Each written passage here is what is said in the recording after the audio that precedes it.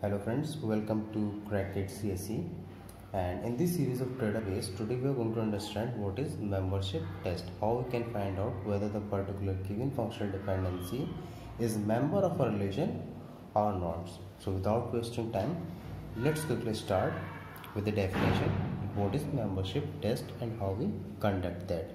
So to to understand the membership test, firstly we would have to consider that let X defines Y is a functional dependency. What is the meaning?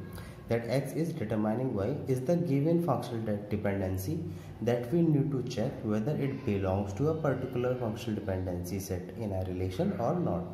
So this is logically implied in FD set R.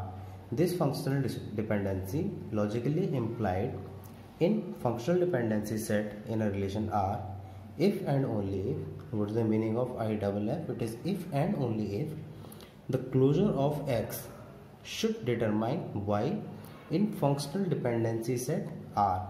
So R is any functional dependency set and x y to belong X implies Y.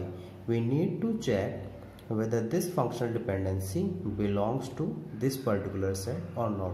So if the closure of x if the closure of x is giving us y then we can commit that this functional dependency belongs to this particular relation. Otherwise it does not belong to that particular relation.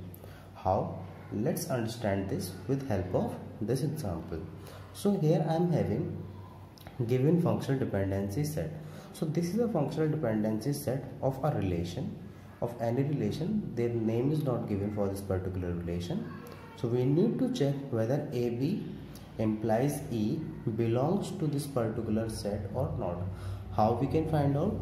For that we need to find out the closure of AB so let's find out the closure of AB closure of AB will be AB it is trivial C. Using B and C we can get D. So I'm writing D. And using D I can get E. So here you can see that the AB closure is giving us E. That means AB belongs to is a member of this FD set. That means this one is a member of this FD set. Now similarly I can find out the second one whether ABF implies D is a member of the set or not. So now what we have to do? I have to find out the closure of ABF so it will be A B F. These are the trivial one. Using AB I can get C. Using BC I can get D. And using D I can get E here also you can see that ABF is giving us D. We are able to find out D in the ABF closure. That means ABF belongs to D is a member of this functional dependency set. So this one is also member of this particular functional dependency set. Now we have to find out whether BC implies A is a set of is a member of this functional dependency set or not? For that what we have to do? We have to find out bc closure. Bc closure will be nothing but bc because it always defines itself so it is a trivial one. Bc defines d. D defines e.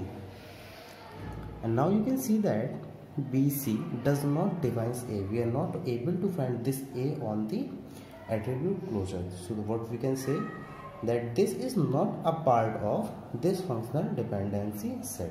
So these are the these are the kind of questions that can be asked although there it is not very important because it is very simple. All you need to have a good idea of attribute closure that how we can find out the attribute closure with respect to the functional dependencies given.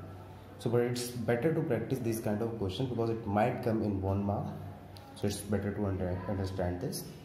In the next video we will be understanding what is equality of functional dependency set and we will be practicing around two or three questions on same. So thank you for watching. Keep supporting. Keep learning. Have a great day ahead